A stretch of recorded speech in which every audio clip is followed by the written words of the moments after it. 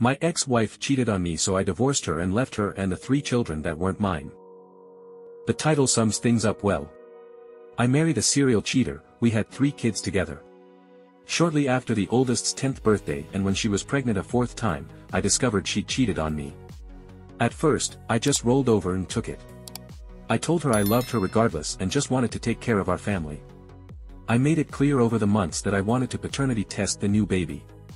I don't know why but a few weeks before the baby was due, it dawned on me that she could have been cheating the whole time and I insisted that we test all the children to see if they were mine. She protested heavily at first which only furthered my suspicions. At this point I became angry and bitter that I poured my heart, time, and money into this family that could all have been a big lie. Well, it was. Not one of those kids was mine. The forced realization that literally everything was a lie and I was being used as a housing clothing food entertainment transportation provider enraged me, so I went out and found a lawyer and divorced her. I'm still stuck paying child support, but I've moved far away and I'm decently happy with my life now. Job I have now pays way, way less but I enjoy it a lot and I love where I live now, Alaska versus Illinois. I have zero contact with her or her children anymore. I just begrudgingly send a check out every month. I've shared this story with a few people in my life and they always want to guilt me for abandoning my family. Thing is, they aren't my family. They're the family of up to four other guys. I was just being used to take care of them in every meaningful way. 15 years of my life, an ungodly amount of money, and all the emotion I had invested into that family were all stolen from me. But just like no one has any empathy or sympathy for me, I refuse to grant it to her and her children. I went through life always hearing how life isn't fair. But I never realized just what that meant until this whole ordeal. Literally every time I tried to confide in someone, even therapists, they called on me to put myself to the side and consider the children. It was made abundantly clear to me that I did not matter. How I felt did not matter. The betrayal I suffered did not matter. So I decided that I needed to matter to someone, and that someone may as well be me. Comment 1. This is a weird subreddit. People confess the stuff they did and then everyone gathers around and tells them it was F up. Maybe the mother should have considered the potential effects of lying to a man who thought he was raising his kids. Society is trying to blackmail him into continuing his victim status because of the choice the mother made, which is just weird and really F sexist too.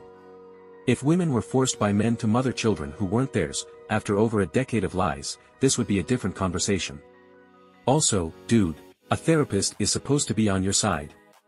The kids can get their own therapists, and will probably need to thanks to this shitshow. Sure, the kids are hurt, but that's because of the sociopathic ex-poster did the kids a service here in a sense. Taught them not to stay and be emotionally and financially abused by a lying woman. So that's something. Comment 2. I'm a woman, I am completely on your side. I was enraged reading your post. Yeah, not the children's fault, but too bad. I even wish you didn't have to pay child support. Let her go get it from their dads. Useless woman. Comment 3. Don't you miss the kids? After five years I don't think I could leave my baby girl even if I found out she wasn't mine. We do all kinds of fun stuff together and I often miss her if I or she is away for a couple of days. On the other hand it's completely bonkers that you are paying child support for kids that aren't yours. I get the best for the child, but really? You were basically picked randomly. There are around 4 billion men in the world, including you, who are not the father of these kids, why should you pay? Comment 4.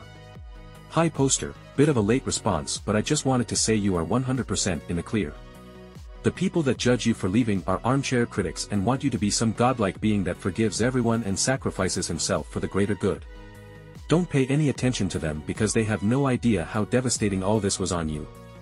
You are not selfish or a terrible person for choosing to leave an unhealthy situation for yourself. The responsibility of reconnecting those children with the actual fathers is that of the mothers. And for the people spewing on about blood and semen not making a father, those men had the choice to raise someone else's kid, you didn't. Best of luck poster and within a certain time frame after birth, in some states you can contest paternity in the US. So maybe try and see if you can contest it for the fourth one.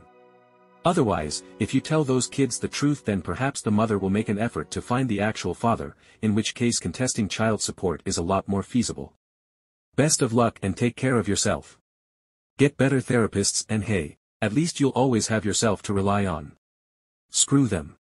Comment 5. I can't imagine being 10 and having my dad up and leave and never contact me again because of a paternity test. The poster answered with. Imagine being 10 and having never known your father because of your mom's lies. The commenter answered back with. Sure, that's upsetting. But that's my biological dad, not the man who raised me and who I thought loved me. Then, the poster said. I definitely know what it's like to think a person loves you and then realize they never did. At least when I loved those kids, it was honest. And the commenter's answer was, doesn't sound like you loved them. Good to know you enjoy punishing innocent children over something your ex-wife did. Like how can you not see how that's messed up man?